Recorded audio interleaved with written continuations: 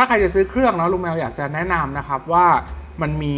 ตัวอุปกรณ์เสริมอะไรน่าซื้อบ้างนะ อันนี้อย่างที่บอกว่าเขาไม่ได้สปอนเซอร์นะ ก็อันนี้คือเท่าที่ลองใช้มานะครับ แน่นอนว่าบางอันเขาส่งมาให้รีวิวน้องอันซื้อมาใช้เอง แต่ก็รู้สึกว่ามันดีนะ ก็เลยมาบอกต่อนะครับ อันแรกเนาะ คือถ้าใครเล่นเกมพวกเอ่อ RPG นะครับ JRPG อาจจะไม่ต้องใช้ตัวนี้ก็ได้นะ แต่ถ้าเกิดสมมุติว่าท่านผู้ชมเล่นพวก FPS ด้วยนะครับ เกม action ด้วยนะ หรือว่า จับแล้วรู้สึกว่ามันเมื่อยมือนะเนี่ยลุงแมวแนะนำพวก grip เสริมพวกนี้นะครับมีแบบนี้นะแบบนี้ก็ใส่เข้าไปก็มันทำให้ตูดอะมันใหญ่ขึ้นนะครับ จับถนัดขึ้นแบบนี้นะ แน่นอนว่าเพิ่มหนักนิดหน่อยนะ แต่ก็ถือว่าสบายขึ้นมากนะ อย่างที่เห็นในเนี้ยลุงแมวตัดมันเห็นไหมตัดมันออกนะเพื่อลดตัวน้ำหนักนะครับ ให้ให้น้อยลงนะครับ แต่ก็จับถือสบายนะครับ ตูดที่หายไปเนี่ยก็เติมขึ้นมาเต็มนะอันนี้ก็ อยากจะแนะนำอันแรกนะครับสองที่คิดว่า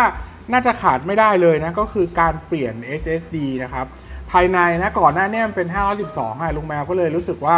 เล่นแล้วไม่ค่อยฟินเท่าไหร่เนาะแต่ว่าพอมันเป็น1เทอันนี้ตัว 512 ตัวเก่าที่อยู่ในเครื่องนะแกะให้ดูว่าหน้าตาของ SSD มันประมาณไหนนะครับเนี่ยนะอืมอันนี้คือนี่อันนี้คือตัว SSD ที่อยู่ข้างในนะซึ่งลุงมาทำวิดีโอไว้แล้วนะครับ ใครสนใจว่ามันเปลี่ยนยังไงก็ ส่องกันได้ส่องเปลี่ยนไม่ยากนะเปลี่ยนไม่ยากนะครับเนี่ยก็พอดีทรานเซนเขาส่งมาเนาะให้ลองอัปเกรดดูนะครับ เป็นตัว1เทราไบต์นะก็ลองดูแล้วนะก็พอใจมากนะครับอยากจะบอกว่า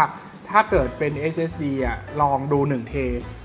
ยี่ห้อนี้ก็แล้วแต่นะลองดูราคาลองดูที่พึงพอใจแต่ว่าที่ลุงแมวลองใช้ทันเส้นมาก็โอเคนะครับ แล้วก็1เทก็ถือว่าโอเคมากนะก็มันทำให้ได้พื้นที่จริงๆเนี่ยประมาณ 950 กิกนะครับ แล้วก็ลงเกมเท่าที่ลงมาเนี่ยแล้วแต่เราเนาะเกมเล็กเกมใหญ่แต่ว่าได้ประมาณ 20 เกมเนี่ยยังได้อยู่นะครับก็ถือว่าฟินๆนะทำให้เปิดมาแล้วเราก็จะมีอย่างเงี้ยหายาดองเกมมากมายนะอันนี้คือสิ่งที่เชียร์ว่าน่าจะเปลี่ยนนะครับ ก็เนี่ยจริงๆแค่2อย่างเนี่ยก็จะฟินๆกันแล้วเนอะแต่ก็อย่างที่บอกว่าไม่ว่ายังไงก็ต้องยอมรับว่าตัวนี้แบตเตอรี่มันไม่ค่อยยาวนานนะถ้าเกิดเราเล่นเกมเล็กเนาะสมมติอย่างยูเดนเนี่ยนะครับแล้วก็เล่นได้ประมาณชั่วโมงครึ่ง ก็หลายคนอาจจะโอเคสำหรับการออกจากบ้านเนอะแต่ว่ายังไงลุงแมวคิดว่า power bank ต้องมานะครับซึ่ง power bank ที่ลุงแมวใช้อยู่ 2 อันเนาะแล้วก็รู้สึกว่าฟินเอาแบบราคาสูงก่อนเนาะแต่ว่าอาจจะเรียกว่าเป็นตัวจบเลยก็คือตัวนี้นะครับที่เพิ่งทำการรีวิวไปเนาะคือตัวคักเทคนะตัวเนี้ยเทียบนเลยนะครับ แต่ว่าก็จะราคาสูงนะมีทุกอย่างให้เลือกสรรนะก็มีมีทั้ง Type C 2 พอร์ตนะครับ USB A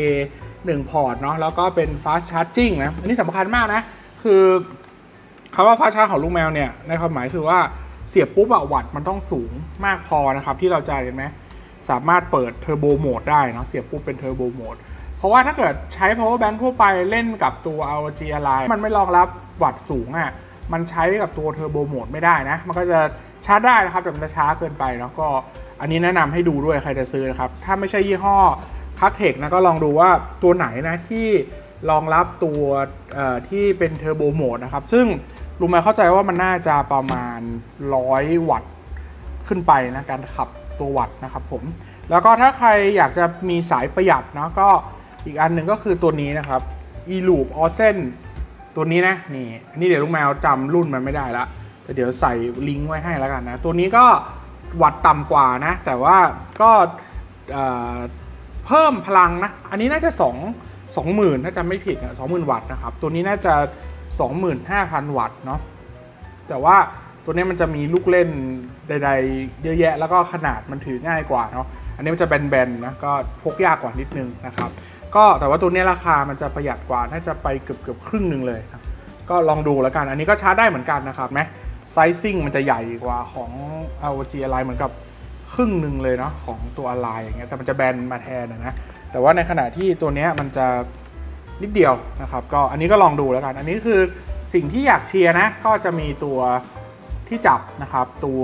เอ่อ SSD เนะตัว power bank จริงๆ ได้แบบนี้ก็คือจบเลยนะครับ ฟินฟินฟินฟินไปเลยนะก็เป็นทางเลือกที่น่าสนใจแล้วนะครับ ในปี 2024 นะลุงแม้ว่า ถือว่าโอเคแล้วนะครับ น่าซื้อ น่าซื้อนะ ตอนนี้ก็เชียร์ แล้วก็ยิ่งถ้าเกิดซื้อพวกแถวช่วง 55 66 77อะไรเงี้ยนะ อาจจะได้ราคาแบบหมื่นแปดหมื่นเก้าโอ้โห นี่น่ากดมากนะครับ ก็ใครเล่นแล้วนะนะปัจจุบันนะครับ ได้ประสบการณ์ยังไงบ้างกับ ROG Ally ก็แบ่งปันกันมาด้วยนะ ลุงแมวว่ามันมาไกลมากแล้วนะครับ ก็ดีดีชอบชอบคือรู้สึกว่าเขา optimize มันดีขึ้นเรื่อยๆ ไม่ใช่ว่าปล่อยเครื่องมาแล้วก็ทิ้งเนาะแต่ว่ามีการอัปเดต อัปเกรดใดๆนะก็ลองดูแล้วกัน โอเคลุงมาขอลาไปแล้วนะ เจอใหม่วันถัดไปนะครับ ขอให้มีความสุขภาพดีทุกท่านนะ สวัสดีครับผม